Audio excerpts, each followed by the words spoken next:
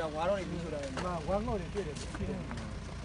ဒါသူတို့ကဘာလဲဆိုအိမ်ဆောက်မယ်ဘာလို့မအဲ့လောက်ပဲမဟုတ်အိမ်ဆောက်တာပဲတုံးတာကျန်တာကသူကမြေကြီးကိုတောင်ရဆိုင်လို့ရဖို့အတွက်ကဒီဝါတော့ကိုသူတို့ဖုတ်နေကြတယ်မိရှို့ပလိုက်တယ်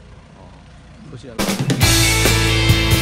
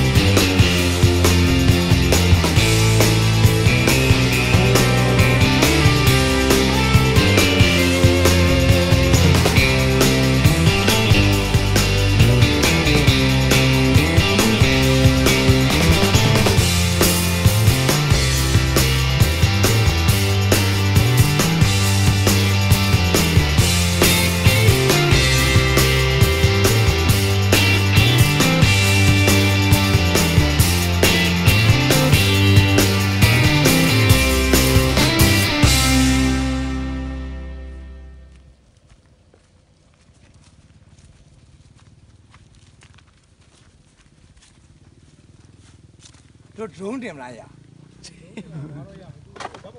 အေးအေးအာအပေါ်တော့အဲရှင်းလိုက်အတော်တော့ဒရုန်းနဲ့ဒရုန်းနဲ့ပြီးပါ။အော်တော်တော်နဲ့ဟောပြီးတယ်ခင်ဗျာပူတဲ့ဒေတာမှာပူတဲ့ဒေတာမှာစိတ်ပြင်းမှုရပူတဲ့ဒေတာမှာပူပေါ်တယ်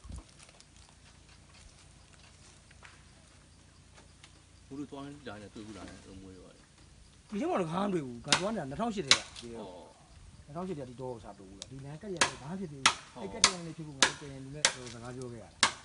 အဲ့ကိုဒီလက်နဲ့ဆက်ပြင်းပါဘောခင်ဗျခင်ဗျဒီကဖာပွန်လိပေါ့လမ်းဟောင်းဖြစ်ပြီအင်္ဂလိပ်ဖောက်ပါဟောဟောဟော